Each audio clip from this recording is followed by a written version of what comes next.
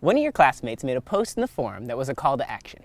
He wants to see examples of physics in real life, specifically simple harmonic motion. So I came to the park, knowing that since simple harmonic motion is everywhere, I'd find some example here. And here I am in a tree. Turns out that when you displace a tree branch just slightly from equilibrium and release it, the resulting motion is simple harmonic motion. Don't believe me? I can prove it to you. So we've talked about simple harmonic motion.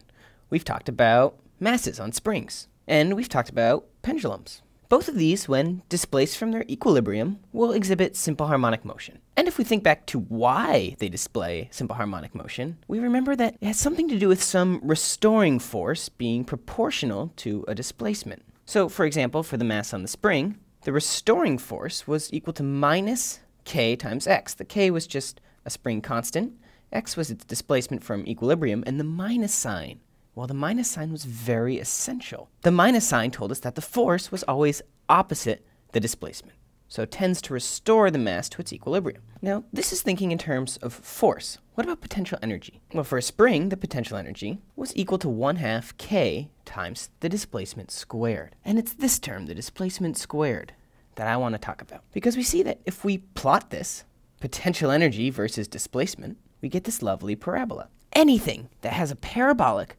potential energy curve, when plotted against some sort of displacement, will exhibit simple harmonic motion when it's displaced away from this equilibrium point. So if we can somehow show that a branch fluttering back and forth somehow exhibits this potential energy curve, well, we're done, and we've proven that it must be simple harmonic motion. Let's see if we can do that. Well, let's think. What could the potential energy versus displacement look like for a branch?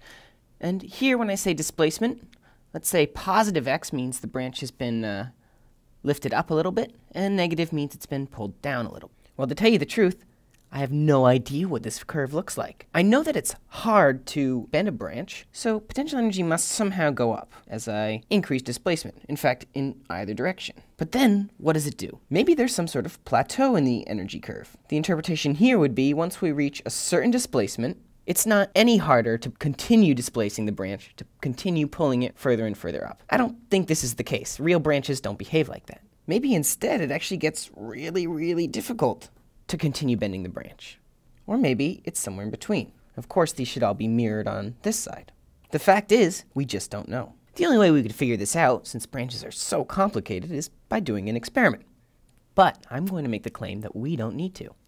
Because for small displacements, Look what we have here. And it can be proven mathematically in a very rigorous way that for small displacements, this trough must, has to be a parabola. So for this region, in here, potential energy is equal to something times displacement squared. And I don't really care what that something is. And in fact, what we've shown here is actually a deep truth of reality. Anything with some equilibrium position, whether it's a branch or a ball in a well or a mass on a spring for small displacements will, with absolute certainty, undergo simple harmonic motion. So, an oscillating tree branch. That's my example of physics in action. What's yours?